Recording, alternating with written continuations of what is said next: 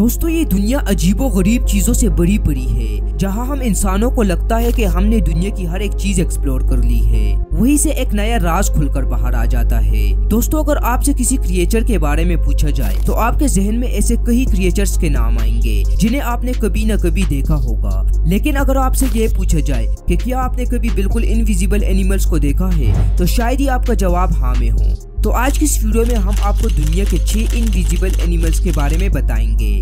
तो चलिए वीडियो शुरू करते हैं।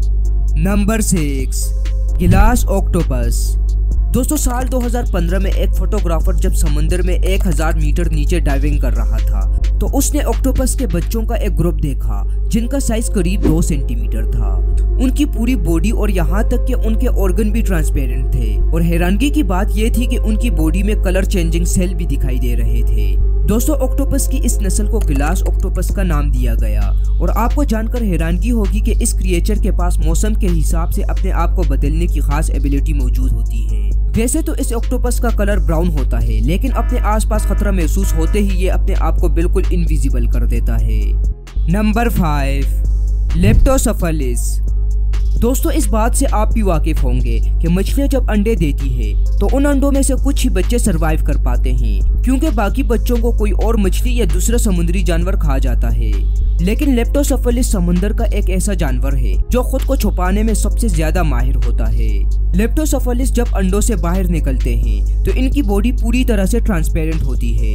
ये जानवर देखने में आपको शायद मछली की तरह दिखाई दे, लेकिन ये मछली की किसी भी नस्ल से नहीं है। लेप्टोसफलिस के बच्चे जब अंडों से बाहर आते हैं तो ये तीन महीनों तक समंदर में इनविजिबल होते हैं। दोस्तों, ये एक ऐसी सर्वाइवल टेक्निक है, जो कि इन्हें नेचुरली मिलती है। Number four eastern screech owl अब बात करते हैं ईस्टर स्क्रीच ऑल की, जिसे देखकर आप एक बार सोच में ज़रूर पड़ जाएँगे कि क्या आँखों वाले भी कोई दरख्त होते हैं क्या? तो हम आपको बताते चले ये कोई आँखों वाला दरख्त नहीं है, बल्कि इस पर बैठा एक ऑयल है, जिनको हम ईस्टर स्क्रीच ऑयल के नाम से जानते हैं। और इनकी खासियत ये होती है कि जब ये किसी खुश दरख्त पर बैठते हैं तो खुद को दरख्त में इस तरह छुपा लेते हैं कि दूर से सिर्फ़ इनकी आँखें ही नज़र आती हैं। और अगर कभी ये अपनी आँखें बंद कर लें तो ये पूरी तरह से दरख्त में इनविजिबल हो जाते हैं। इस हालत में किसी के लिए भी ये बता पाना बहुत ही मुश्किल होता है कि क्या दरख्त पर कोई ऑयल बैठा है या नहीं। नंबर थ्री वेलोटार्मेगन। दोस्तों, इस दुनिया में कई तरह के परिंदे पाए जाते हैं, लेकिन वेलोटार्मेगन नाम का ये परिंदा बाकी परिंदों से काफ़ी अलग और यूनिक होते हैं। इनका कलर प्योर व्हाइट होता है, जिसकी वजह से सर्दियों के मौसम में इस बर्ड को देख पाना तकरीबन नामुमकिन होता है। इसकी बॉडी का कलर इतना ज़्यादा व्हाइट होता है कि बर्फ़ में बैठने के बाद ये बिल्कुल नज़र नहीं आती और पूरी तरह से इनविजिबल हो जाती है। ये बर्ड ज़्यादातर अलास्का और नॉर्थ अमेरिका में पाई जाती हैं और इनका साइज़ तकरीबन एक फीट तक होता है।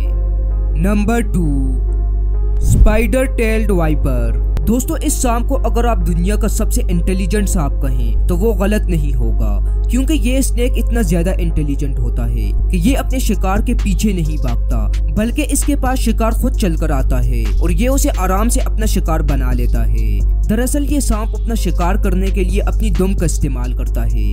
क्योंकि इस स्नेक की दुम बिल्कुल स्पाइडर की तरह होती है, जिसकी मदद से ये अपना शिकार आसानी से कर पाता है।